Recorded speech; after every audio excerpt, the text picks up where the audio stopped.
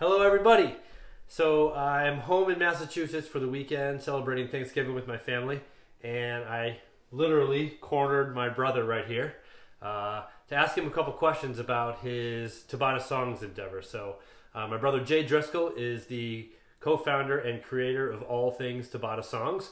My students um, utilize his music on a daily basis to access their fitness in many different ways and uh, I think they had a number of questions about his um, entity with how he kind of got the business going and and, and all things related to uh, Tabata songs regarding his creativity and and the different ways that he uses that music. So the first question that I have is I think oftentimes people hear the music and they think that you just took the song and then overlaid the coach's voice three two one go three two one stop could you just walk us through the process of how a song is actually created for Tabata songs?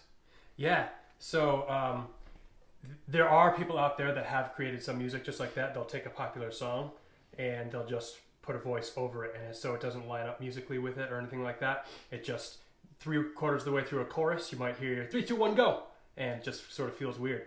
Um, so what we do, first of all, to answer your first question, is we any cover songs that we do, meaning taking a song that you may have heard of before, like a song that's on the radio or in a movie or something like that. It's called a cover song. So we basically recreate the entire song. Um, so I'm going to use the, the Rocky song as an example.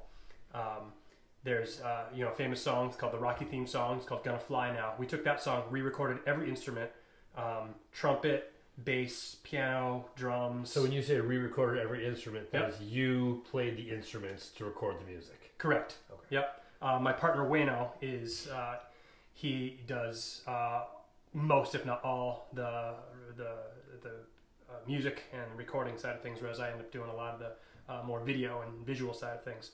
Um, so yeah, so we don't take the original song that you hear on the radio or in the movie and just put a voice over it. We take the song, we uh, put it to a certain tempo, meaning a certain speed, so it'll work with the Tabata timing correctly, and re-record every instrument. Um, like I said, piano, drums, vocals. We have singers come in sometimes, uh, and we set it up so it'll work with 20 seconds of a work interval and 10 seconds of rest. So it gets really tricky with certain songs to make it work with that. So how long will a given song take to make from soup to nuts?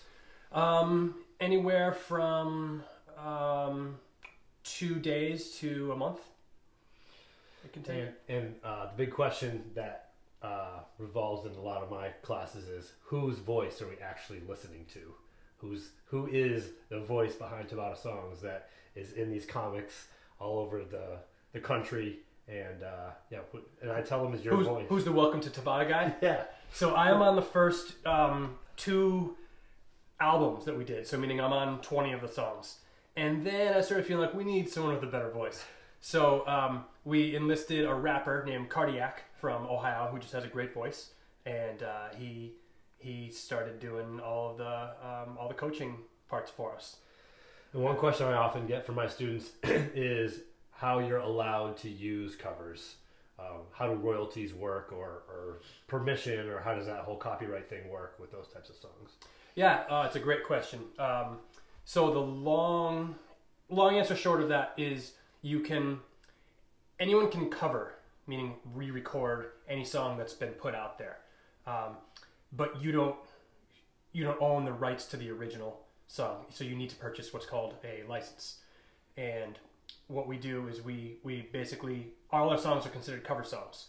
So we I should say all of our songs that we redo of other songs you might hear on the radio, they count as cover songs, meaning we don't change the song up enough to the point where it's illegal or anything like that if you are recreating a song, um, you can purchase a license for it, which gives you the ability to put it on, you know, Spotify or YouTube or iTunes or anything like that.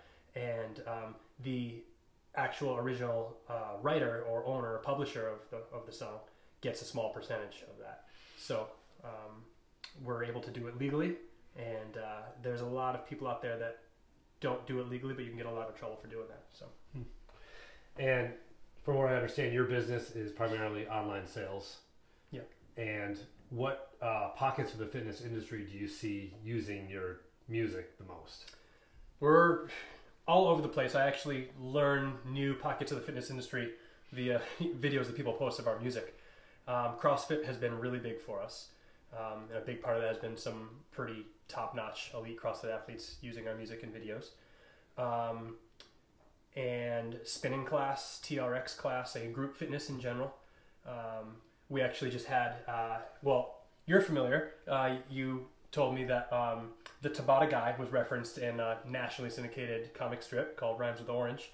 And it turned out that the artist who I got in touch with, just to find out how she heard of us, has uh, she heard of Tabata songs as while doing spinning class, and she her teacher uses it often. So that's really common. People use it with um, marathon training, running in general, um, building up a VO2 max, um, and a lot of people just doing home workouts seem to use it a lot. It's convenient, and people like to have someone to tell them when to start and stop. And it's spread all over the globe. It's spread all over the globe. Yeah, we started it as just sort of almost like a joke um, for ourselves.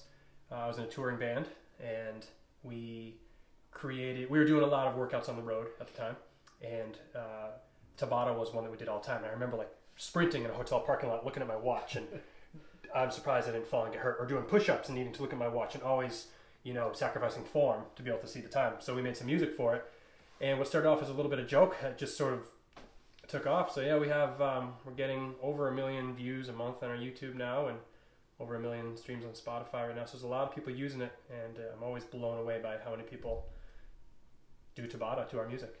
And that's your sole job or career right now. That is, I'm uh, I'm part-time stay-at-home dad, part-time Tabata guy.